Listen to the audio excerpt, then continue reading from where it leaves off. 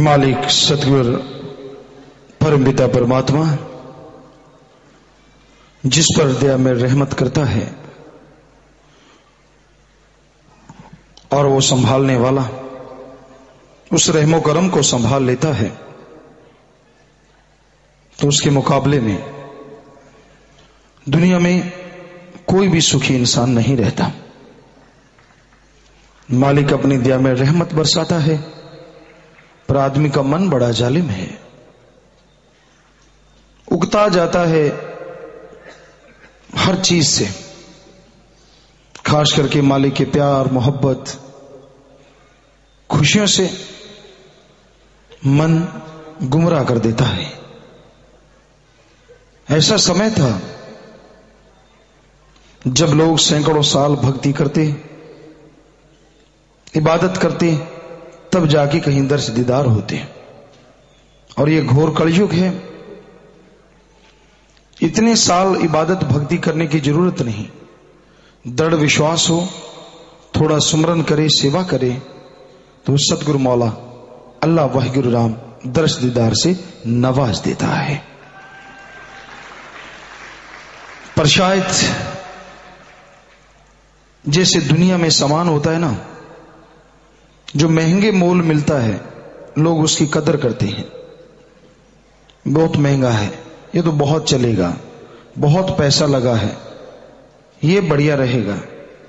उसी तरह, जब मालिक की दया में रहमत किसी को सस्ते में मिल जाती है, बिना कोई अग्नि परीक्षा के, बिना कोई दुख तकलीफ़ के तो उसे वो दया में रहमत सस्ती लगने लगती है।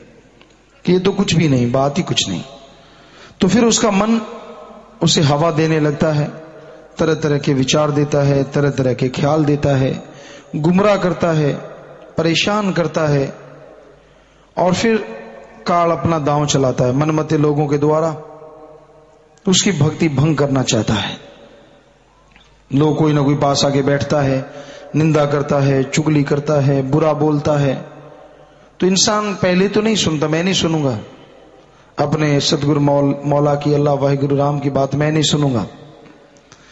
लेकिन कब तक आखिर लगातार उनका संग उनकी सोहबत उसे गुमराह कर देती है?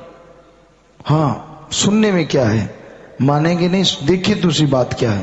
पूरा इंटरेस्ट लेके वो बात सुनने लगता है। और सुनते सुनते कब खुद गुमराह हो जाता है कब मन के हाथों मजबूर हो जाता है और ऐसी ऐसी बातें करने लगता है। जो अल्लाह मालिक के लिए सही नहीं होती तो फिर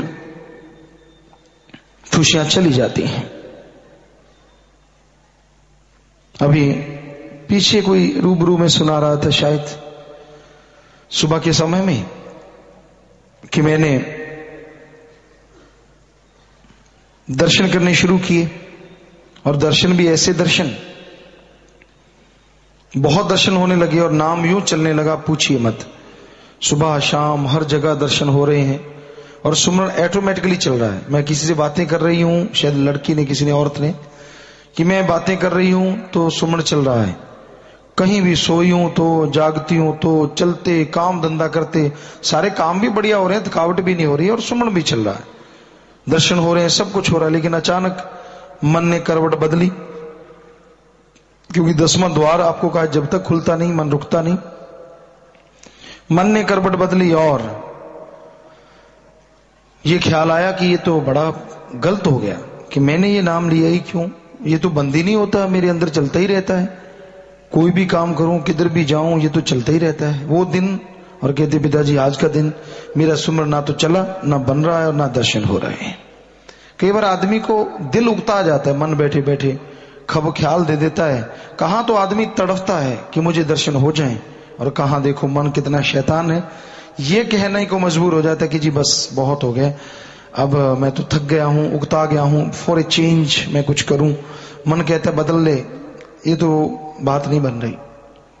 कुछ ना कुछ ऐसा जब होता है तो मन हावी हो जाता है तरह तरह के विचार देने शुरू करता है। यहाँ तक कि वो अपने अल्लाह वाहिगुरु राम को गलत साबित कर देता है, अपनी कमियों पे नज़र नहीं देता नज़र अंदाज करता रहता है।